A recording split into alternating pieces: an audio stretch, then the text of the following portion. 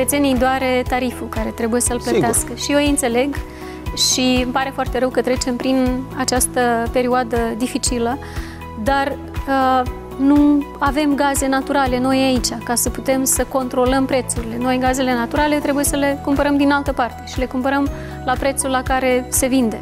De aceea e nevoie să avem surse alternative de energie.